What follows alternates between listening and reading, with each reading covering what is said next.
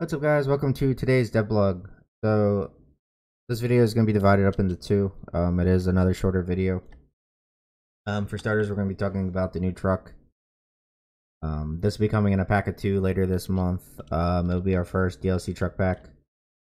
Um, it's still work in progress, there's no skin on it yet, and there's a bunch of smaller details I still want to work out on it.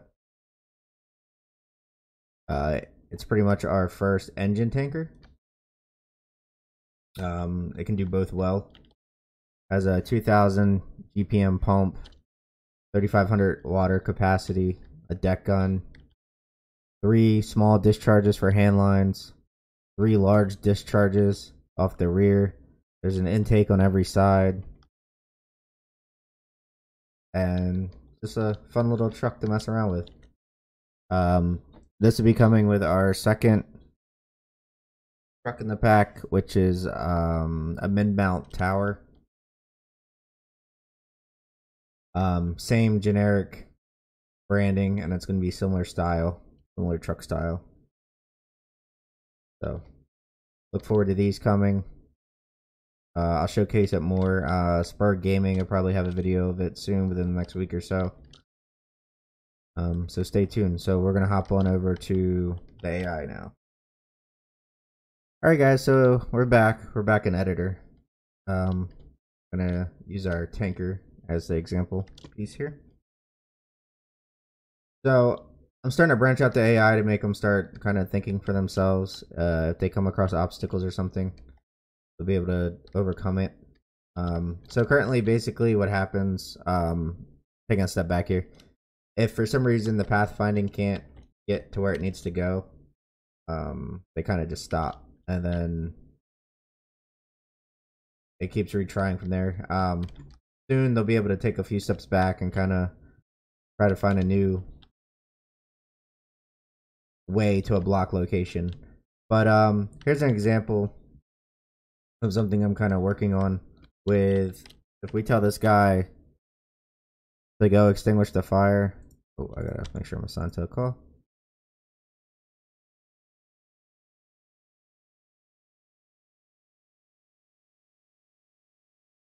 Alright, so he's gonna walk over, and this door is gonna be locked. He's not gonna be able to get in. Um, if it's unlocked, he'll actually open it and go in. Um, however, he's now called this guy over to come over and say, hey, I need this door forced. And then as soon as this guy comes over and forces the door, he goes and extinguishes the fire. So he'll also call out, um, because this tanker's not assigned to anything, any station right now. Um, He's just saying tanker blank, but it would say like tanker one, charge discharge five if it's assigned to station one. So we'll go ahead and we'll charge discharge five for him.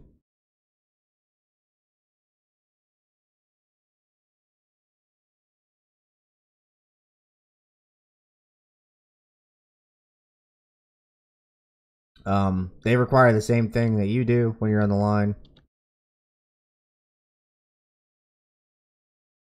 Proper pressure. If not, they won't be able to do their job. So eventually there's going to be pumping AI, um, driver operators. I want these guys fully independent. So you would actually see them standing at the pump panel and dynamically adjusting pressures based on what lines are out at the time. So that's something to look forward to. I'm going to keep on adding more and more things for them to think about as well. Um, like instead of hey, I can't go through this door. There's no barman available or around me. How about I just go through this window? Stuff like that. Um, it's really just fine tuning it. I can pretty much expand it to however I want. So AI is coming along great. Um, next video, hopefully, I'll have them handling propane tanks and all the smaller stuff, fire alarms, and we'll go from there once all their basic functionalities done, I plan on adding the RTS mode, which you'll be able to click on this guy and then click on the house if you want a ladder. Click on what window you want a ladder thrown to. Um, click on this guy and then click on the door that you want forced. Um, there's going to be a wide range of ways they can handle themselves. Like for instance, we have this little squad menu. This is like a debug menu just for now, but in the future you'll have like a little command structure so you can lead your squad directly. Um, you're gonna have your options so they can just independently go cruise. So if you have an engine company, they you'll have the pump operator handling like you'll have a fully independent engine, fully independent truck company handling, or the other way, you could have the bird's eye view with the drone where you click on them and then click on stuff. So I'm making the game how you want to play it, um, leaving it up to you. So, um, hopefully, I'll have these guys in the hands of YouTubers as well by the end of the month, um, so they can start showing off what they're capable of. But the cool thing is, is with how I designed everything from scratch, is they all work across the board with all my emergencies. There's no going from emergency to emergency, uniquely coding paths or like anything. They just they kind of work. They they detect the windows universally across the board. Like heights, fires, doors, everything works all the same. So it should be really interesting to see kind of how these guys uh develop. So I'm just as excited as you guys are.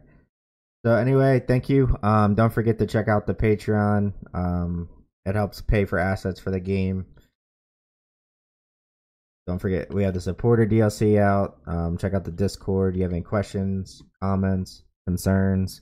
Go ahead and leave them below. And if you want to help support the game even further, don't forget to leave a Steam review. All right. Thank you. Have